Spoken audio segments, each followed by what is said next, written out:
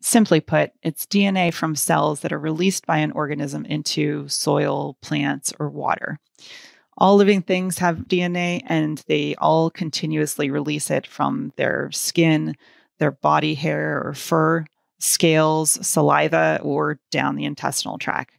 So, fish in waterways would be releasing urea and scales. Frogs can release cells when they're going through a metamorphosis, and birds will leave bird droppings and feathers. The science of environmental DNA, or eDNA, describes how we can collect or extract DNA from the environment without even physically observing or handling the organism. So previously, you would have to find scat, blood, hair, feathers to, to get that DNA. Um, now it's easier and cheaper to collect eDNA from water or from sediments. It's a major advancement because we don't have to first confirm that the organism is present or even in the vicinity when you're sampling. And you can get samples uh, through trained lay persons. You don't have to have a species specific expert out there. So, for example, from a cup of water collected out of a pond, you can collect DNA evidence from uh, aquatic species that are in the environment or have passed through, or terrestrial animals that have used that water body. So, it's a very powerful and sensitive monitoring tool. Because it's such a sensitive monitoring tool, eDNA works really well when you're trying to find a rare or hard to find organism. And generally, it's used to detect a single species, but, but now scientists are sampling entire communities using eDNA methods. It also works well when you're trying to determine the, the current or historic distribution of an organism across a wide expanse and can potentially save a lot of money and effort in doing so. So we're going to cover what is being collected and then what is the origin um, of that eDNA. So basically, um, all organisms, whether they're in a terrestrial environment or an aquatic environment or even flying through the air, they leave a trace of DNA in that environment. Um, and so we can sort of think about this environmental DNA as like DNA forensics. So if you had committed a crime, right, they would sweep the room for a trace of that particular person or so on, or they would look for things left behind. Um, and that's basically what our goal is when we're um, looking for a trace of an organism with environmental DNA. And the advantage to this and using an environmental DNA is that we can detect an organism without direct contact. So we don't actually have to come in contact with whatever our target species is.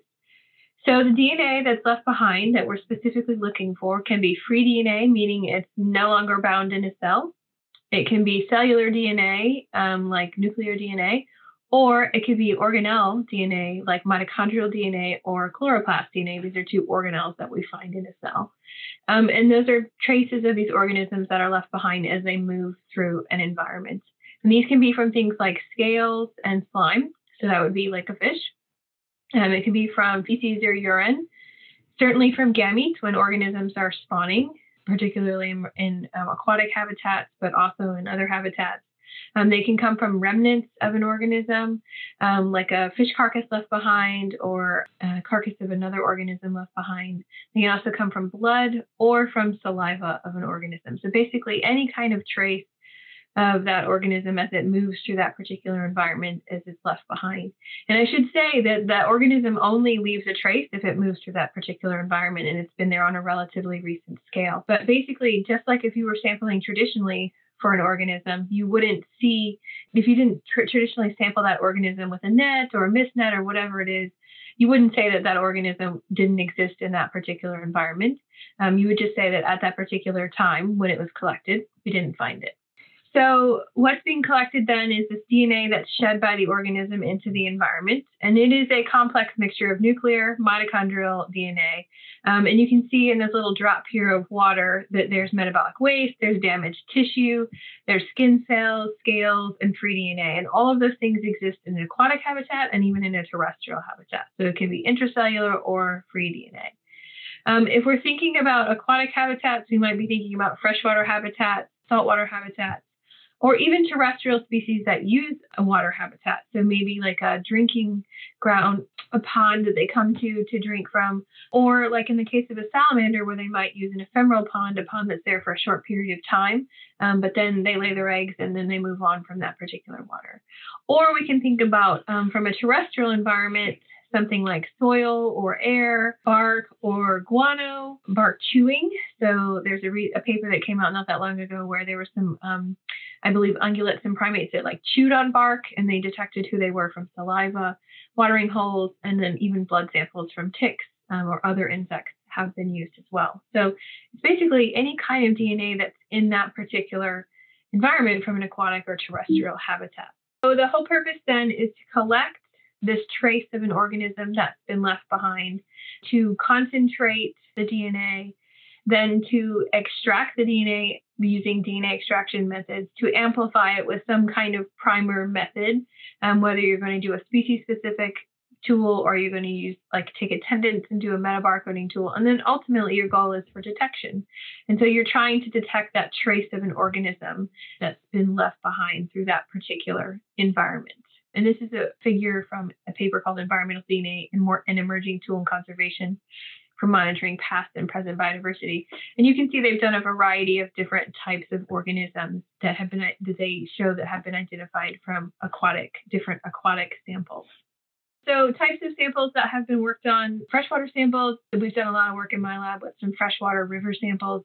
Seawater samples, this is sort of um, a cornerstone paper, Yamamoto et al., where they did a survey and they did some meta barcoding. So, they compared one environmental DNA survey to 14 years and they had great detectability.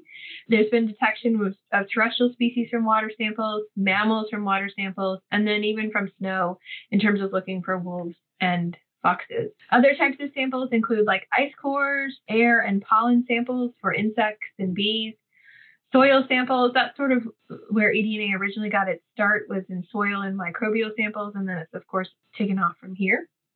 Blood meal, whether that's from ticks or other organisms, grave substrates, and then even fecal samples. And that's sort of a, a baseline of eDNA as well. So um, we target small fragments, and people always ask the question, but we target small fragments because even small fragments of DNA, like 100 base pairs to 150 base pairs, which is usually where we target for DNA, they degrade beyond detectability within a few days, particularly in aquatic habitats like seawater samples, which is where I spend a lot of my time working. So you can say then relatively recently that that organism was in that particular habitat. Um, now, it's not quite the same for other samples in soil and, and things like that. DNA works very different, but in an aquatic habitat, within just a few days, then these small DNA fragments degrade beyond detectability. So, in just in the same way, if you were doing traditional sampling, you could say that that organism um, had been there when you were there. You can also do that with environmental DNA. Um, and then there are many things that impact um, how the DNA persists in an ecosystem. And I just wanted to sort of give you a little start to this. But there are lots of environmental factors that impact and change the way um, DNA degrades or persists in an ecosystem. Everything from light and temperature to time um, when thinking about microbes and enzymes. And this figure illustrates an aquatic ecosystem, but the same is true for sediments or ice cores or pollen samples. They all have completely different scenarios in terms of the way that they persist. And so the thing to really remember with this is that it's very habitat and ecosystem specific in terms of what you're going to work on in, in terms of how long that DNA that you intend to collect, that you want to collect that trace of that organism can be left behind.